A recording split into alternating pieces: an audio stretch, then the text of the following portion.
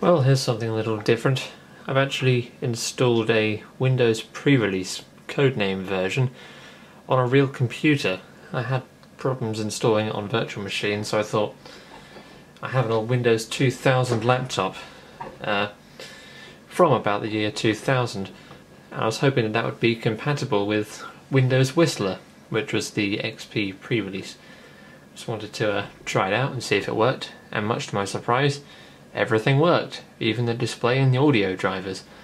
So uh, enjoy this rare look at Windows Whistler working properly on some hardware from the time. It's not the fastest thing in the world, but yeah, it's a Pentium 3. But it does actually work. Might have to uh, see if I can. Hmm. Forgive me for a moment, I'm going to see if I can adjust this a bit better. Perhaps turn the light off so it's not as glaring. There's the uh, quite minimalistic boot screen, well, in comparison to 2000 anyway. Uh, let's just see. Oh yeah, that's better.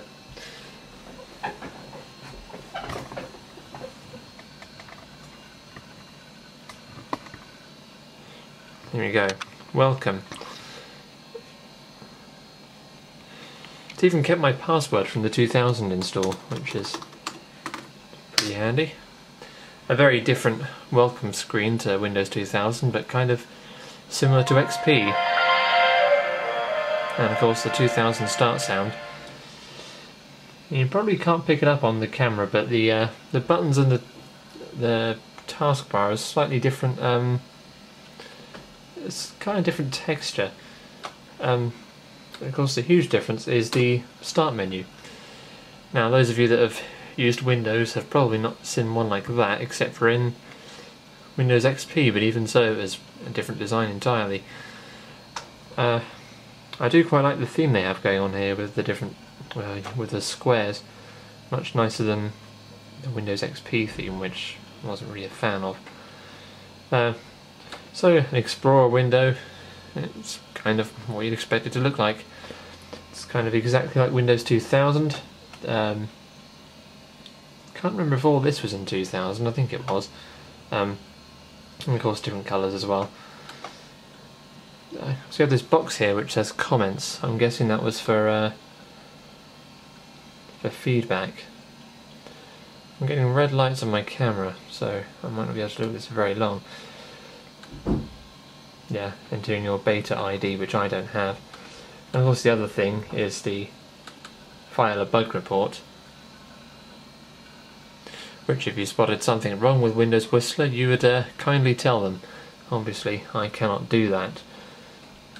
Uh, and of course it does also contain the very first version of Windows Movie Maker, which was also included with Windows Millennium Edition.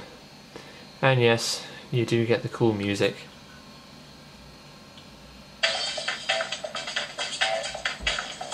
There you go. Again, if you've used Windows ME, you've already seen that.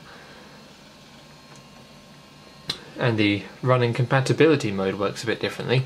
You double click on this, uh, and then you choose which version, 95 or NT, browse for the application file, uh, let's just say that this one won't work, I've already tried it, and then you click run as opposed to right clicking it. Uh, I do have a version of mIRC which will run on here, um, this version. So I can chat on IRC with Windows Whistler. uh, I do actually have a PCMCIA Ethernet adapter, so it's perfectly plausible that I'd be able to do that. And here we go, let's just shut this down now. I mean, if you've seen Windows 2000, you've, you've seen this. There's not much that's different, it's just an interesting little version of Windows. It's funny to see the uh, XP development process. Uh, I shall log off first so you can have a look at the, um, welcome screen. There you go. And uh, we have the turn off computer here. which we will now do. Turn off.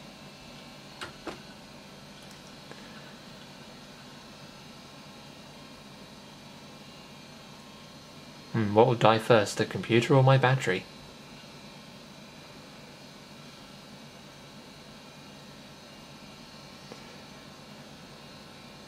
I should point out that this computer was this slow running 2000 as well. Ah, that wonderful old sound. Well, there you go. There is a look at a obscure version of Windows running on actual hardware. Hope you enjoyed.